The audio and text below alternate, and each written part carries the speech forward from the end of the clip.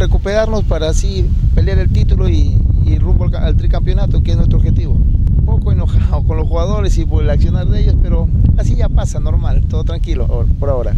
Bueno, al menos sufriendo con un poquito de, de orden al principio y desordenándonos al final por el mismo físico de los muchachos. ¿no? Ajá, esperamos siempre en lo positivo, pues, ¿no?